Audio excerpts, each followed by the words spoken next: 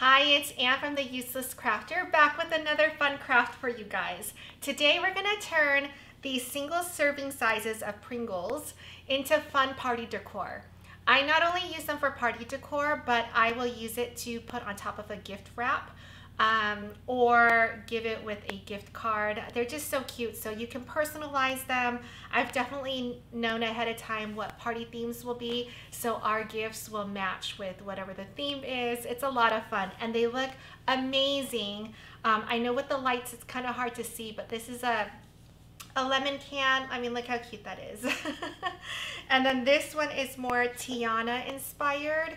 So you can see her lily pad with someone turning six. I mean, you know, the colors of that theme. And then this one's just fun. Like we're gonna have an ice cream party, have some friends over. So it can be any theme. Today we're gonna be focusing on a heart theme because I wanted to do something for my mom's birthday and then also Mother's Day and then just, you know, everyone loves hearts. So that's what we're gonna do today. This is a great great, great craft because we don't need any machines. You can actually, I'll show you right now because the way I measured this and the measurements will be in the comments or in the description, you need to measure the top part. Now for the lid, I do like to use glitter cardstock because it's just sturdier. It can hold the glue. We're gonna be taping or gluing this down like this to cover this top part. This middle piece right here is basically unfolded a rectangle. So you could use a paper cutter, uh, you could use your Cricut or Silhouette to cut it, or you could just use a also a you know a hand cutting machine or scissors if I hadn't mentioned that. So that middle part, I'm going to show you this cardstock that I use. These are a little bit thicker than regular cardstock, but look how cute. I'm giving you two color options.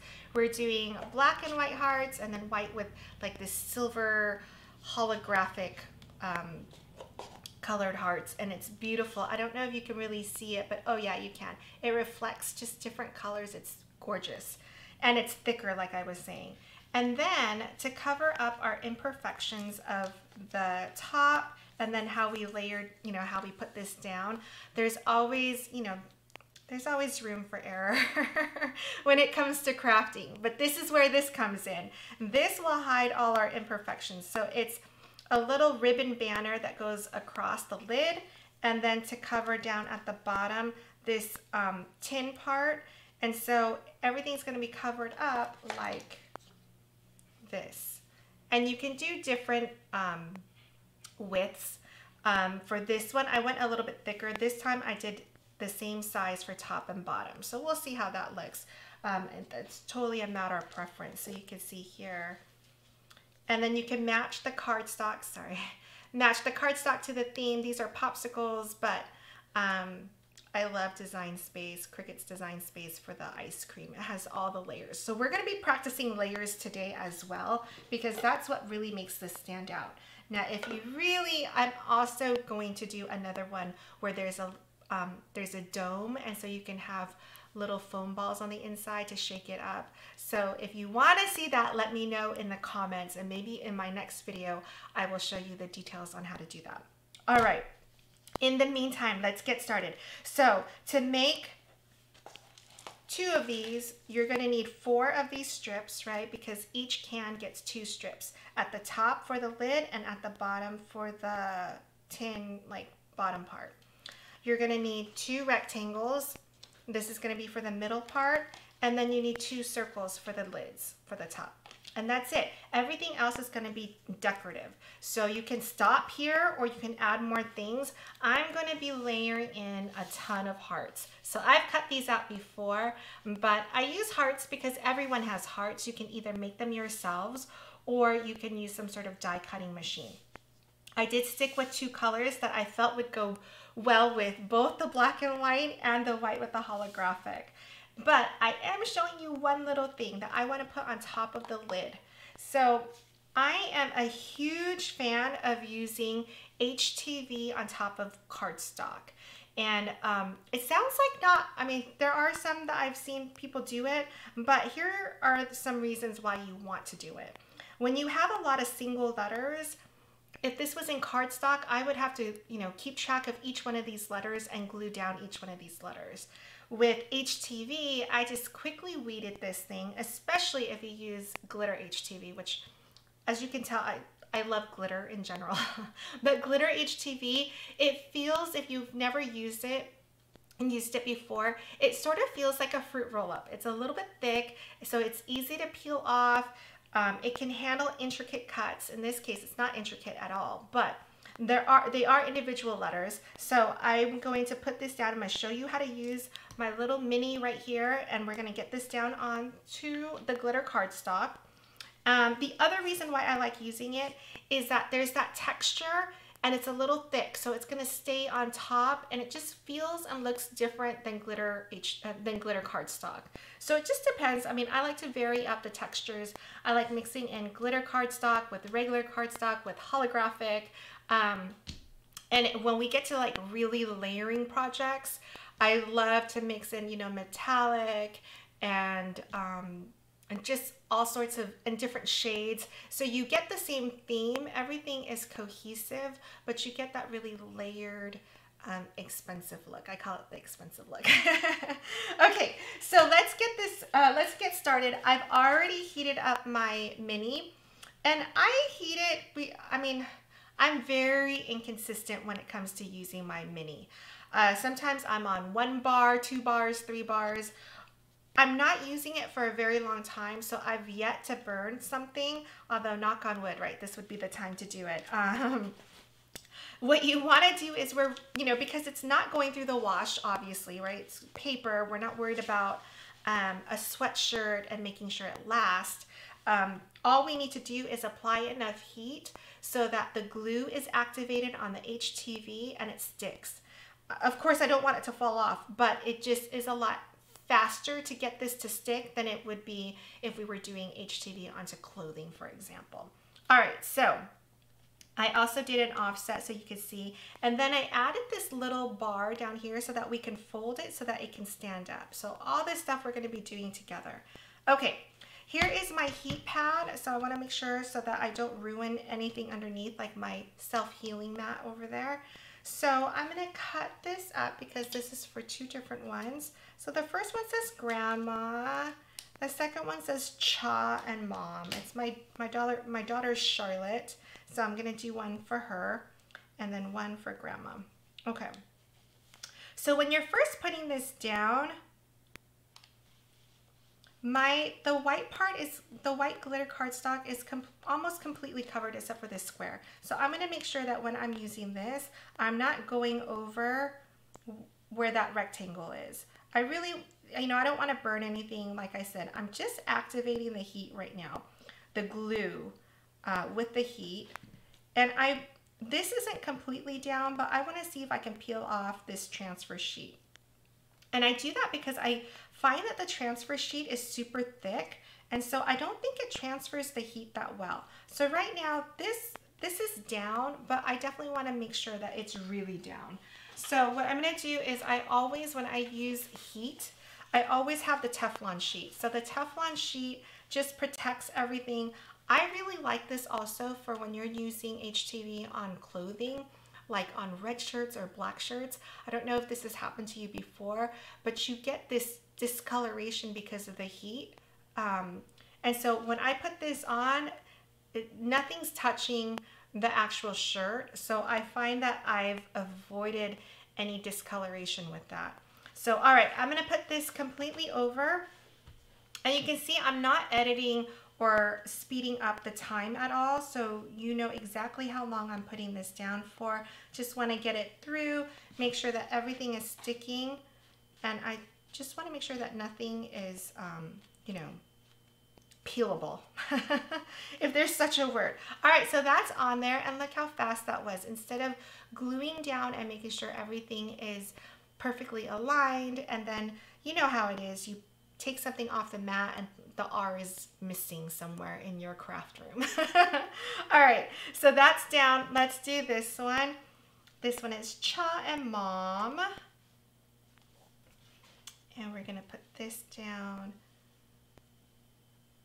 and for me, I really love to layer. So, um, but because we're not, I don't know, you know, I tried to keep it simple because I don't know what every what tools and machines that everyone has. So I didn't want to layer too much, but I would have loved to have had one more offset on this to make it really easy to read and pop. All right, so that came off. Put the Teflon sheet over it. Just get this down. All right. All good. So this is good. And that's going to go on top. So if you can imagine something like this. And I'm going to fold that down so it's going to sit like this. Okay, so let's get started on our first one. So I have my um, glue gun plugged in and I'm going to turn off my mini right now because we're done with the mini. So give me a second to move that out of the way before I burn myself. All right, let's see. I'm going to move this over here. All right. So the first thing that I do is take off the lid and I just want to push this little tab up and inside so that the lid, it'll be covered on the inside so that I can put all that pretty stuff down. So on this top part, what I've been doing is double-sided tape and here's my double-sided tape and just making sure it sticks down.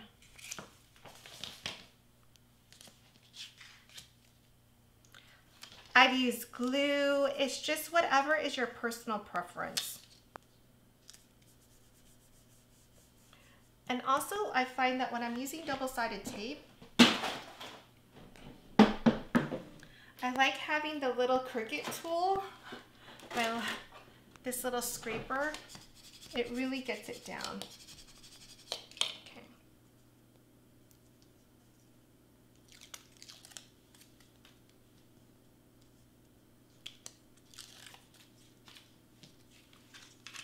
Okay. flip it over. So I made this one a little bit bigger and I think I did two different sizes. So we're gonna try out, I've done a lot of these, but I'm still tinkering with the sizes. Do I wanna make it closer? So this is 3.18. It extends past the lid. And I like that because what happens is um, I'll have this little tab going across it. So it kind of just, you know, it just fits. But I'm wondering if a closer fit would be better. I don't know. I'm totally open. But um, all the dimensions, sizing will be available in the, in the uh, description. And then you can let me know. I'm still experimenting with this because what happens is I'll get an order and then I'll just process it as is because it looks good. I have everything going. Um, I just haven't had time to really experiment all the different sizes. all right, so here we go. I'm gonna push it down. And so there is transformation step one, right? Okay, so I'm gonna take that off. That looks good. And let's put down this piece. So on this first one, I'm just gonna use my glue gun. I've used glue, I've used double-sided tape, I've used it all. So it's totally up to you. Um, and look how pretty this paper is. It's double-sided. I would just put down, just start by putting down some glue so that you can, like I said, just get started.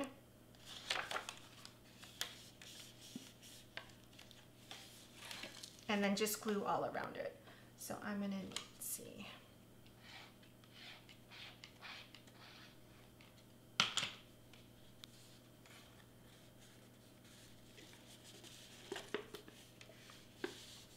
So I've done the thinner paper cardstock, like printed cardstock, and when it's thinner, it can show through the glue, and so it's not thick enough to just lay down nicely. So that's why you want to look for a thicker paper. This one, you can you can hear it. It's just thicker. Okay, let's get going. I'm just putting down glue. And I did this one because I cut it on my, just my little hand cut machine. So I went all the way to 12 inches. If you cut on your Cricut, I will have different dimensions for you. Um, I usually put it right here. but it doesn't matter because I'll just go over like this. So this will be the edge. All right, so let's do this. I'm gonna put in a glue stick.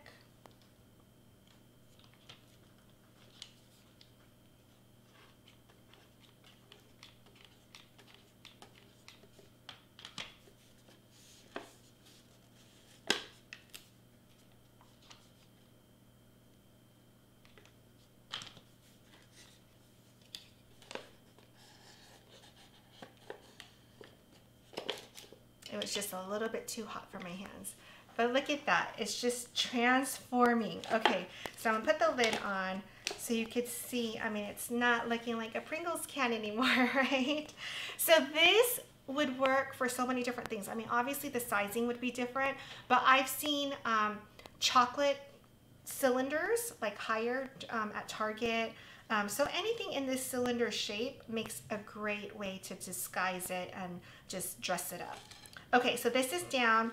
I'm gonna put this down right here and then we'll just put a little bit of glue to get started to put this down. This right now fits exactly on the lid. And so when you're opening the lid, your hand will touch the lid and the cardstock. So it's even sizing. So you're, um, I just find that it's sturdier, you know, your, your can's not gonna fall apart on you. All right, so let's put a little bit of glue.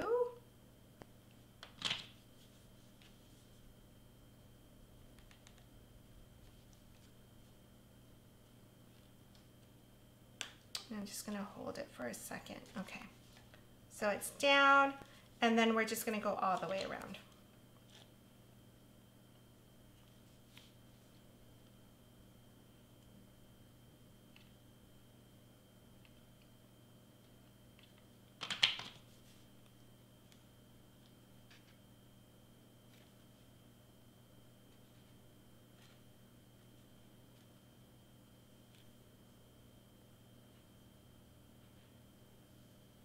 And then you can just wipe off the glue. I did a little bit too much today.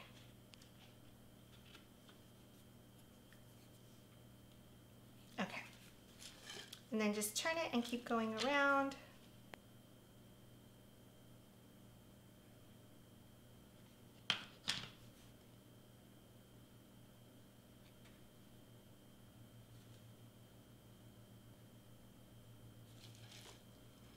See.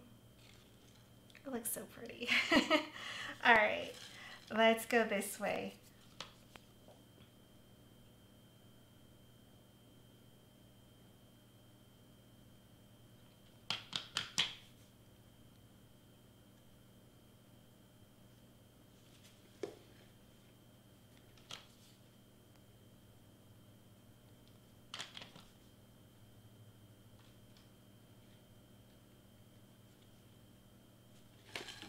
All right, so top part is done. Let's do the bottom half. So same thing here. You're gonna line it up so that it the edge meets the bottom. So it's sitting on both this tin and your cardstock. So it's just stable, nothing gets ruined. All right, so let's put down a little bit of glue.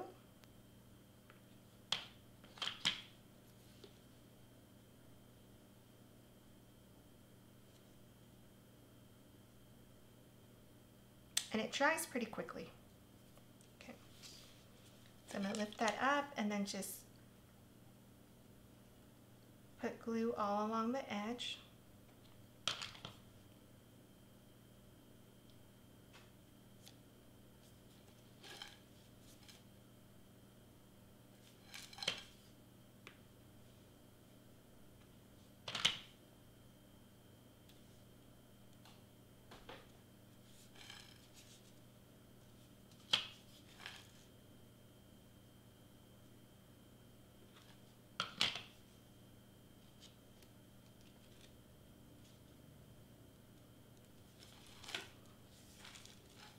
So look at that. Isn't it beautiful? Okay, so let's do on this one.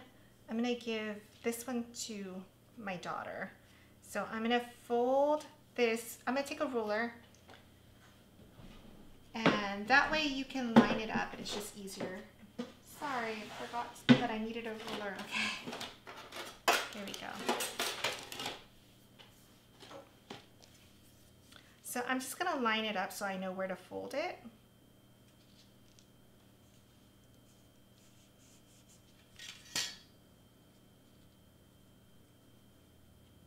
And then I'm gonna put glue along this edge and then sit it on top of my, on top of my thing. So here we go.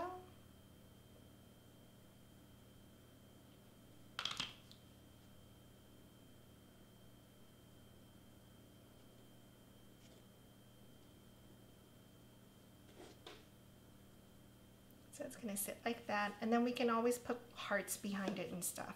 Okay, so let's build our hearts. I love to layer, so I always have my foam, foam tape. So let's just start layering all these hearts. This one is such a cute little thing. It has a cutout of the heart, so the second layer is will poke through. And then because this heart came out, I'm gonna put foam tape on this and put it on top so it's kind of sticking up. So let's do that. Um, to get these two together, I'm going to use my double-sided tape, which I have somewhere. Man, I forgot what I was doing today. Okay, I'm just gonna use my glue.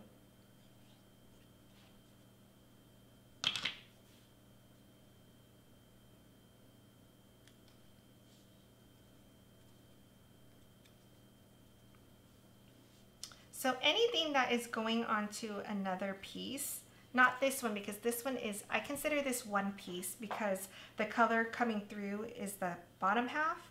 So I didn't put foam tape on it, but between this layer and this layer, I'm definitely gonna put foam tape.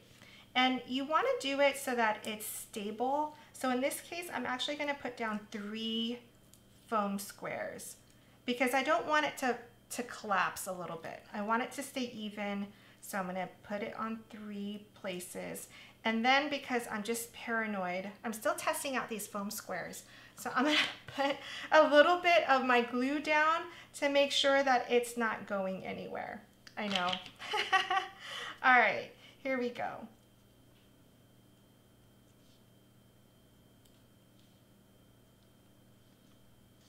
And so you see it pops up, it just gives it depth and dimension. All right, so on this little guy, I am gonna put a foam square, which I think is gonna be too big. So I'm going to cut it.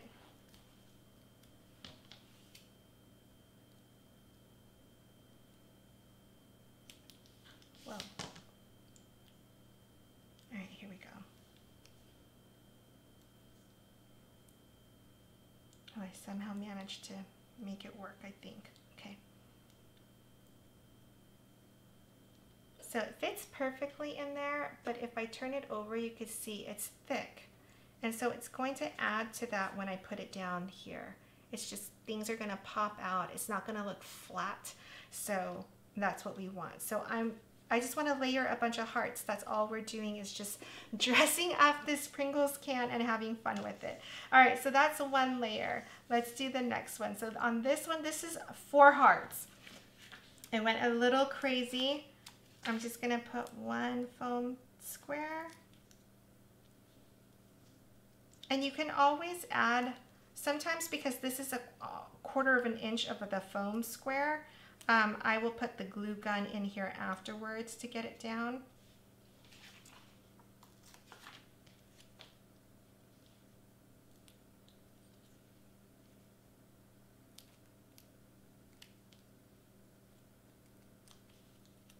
But you can do so many different things with this. It's so cute.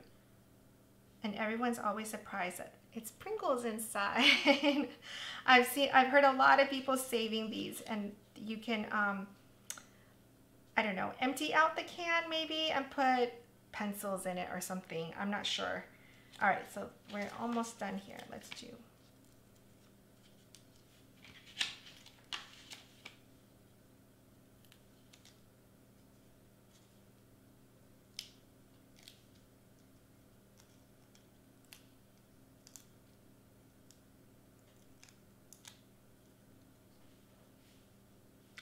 one more layer. And look at this one. So this one is four layers. It's really popping out. So when we put it down here, like this and then maybe layer this heart over here, everything's just gonna pop out and look really nice. So see like that. um, so on here, what I would do is I would put my foam tape again so that it's not laying flat on the can. And then for sure on this one, I'm putting my, my glue gun on it too, just to make sure that it's really sticking to it.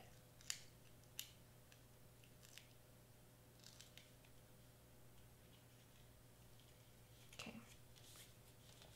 And remember this lid rotates. So it's okay if we put it down and it doesn't line up right now. You just want to make sure you know where your ending is so that you're in the front of that. Okay.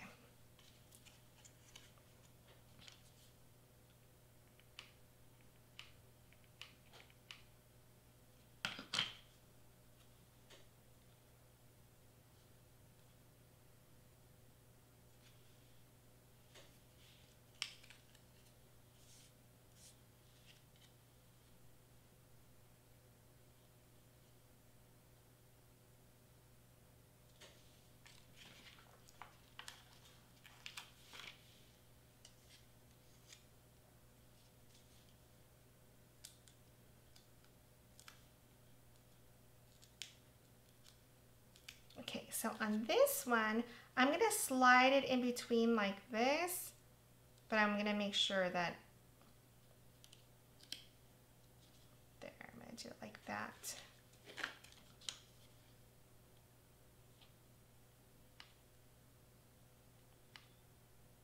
Get that glue gun in there just to make sure that nothing is gonna come off on me. All right, look at that. How cute is that, right? It's Pringles. All right, behind here, if you wanted to, I mean, we could put some hearts like sticking up like this, poking through. All right, so that's one down. I'm gonna just briefly go over this to remind you how to do this. So first thing is you wanna open up the can or the lid. You wanna tuck this in you want to glue down your top and then you're going to, oh no, sorry. You're going to glue down your top and then you're going to put this on. You're going to tape that down or glue it down. Put your lid back on, tuck that little piece in.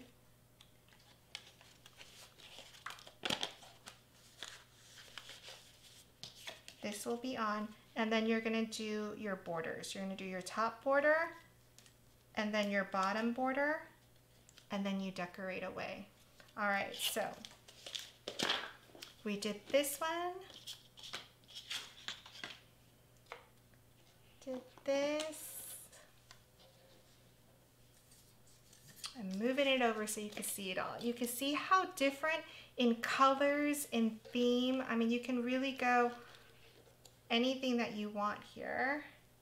Let me get the last one over that one. So totally different themes, different colors, different types of paper. This has the gold. This is just a fruit popsicle and hearts. It's just whatever you want to do. I hope this was helpful and I can't wait to see what you guys do. Bye.